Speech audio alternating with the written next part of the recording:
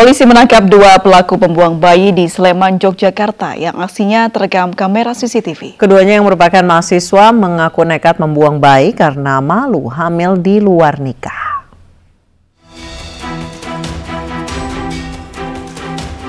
Sepasang kekasih dibawa ke Polres Sleman setelah membuang bayi dan menaruhnya di depan rumah warga Dusun Berjokulon, Desa Sidoluhur, Gordean, Sleman, Yogyakarta.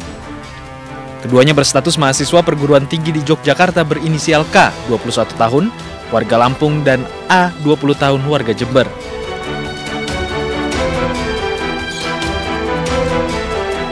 Keduanya ditangkap hanya berselang satu hari setelah membuang bayi laki-laki berumur sekitar dua hari. Latar belakang pelentaran bayi tersebut karena takut ketahuan oleh orang tua ataupun keluarga. Oh, ya Belum. Sebelumnya saat keduanya membuang bayi terekam kamera CCTV. Pelaku meletakkan kardus berisi bayi di kursi depan rumah warga.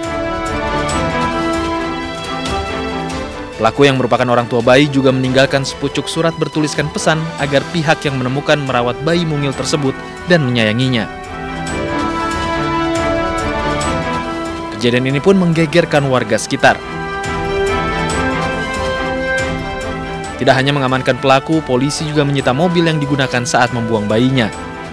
Kini keduanya terancam hukuman maksimal 5 tahun penjara. Dari Sleman, Yogyakarta, Heru Trijoko Ainews melaporkan.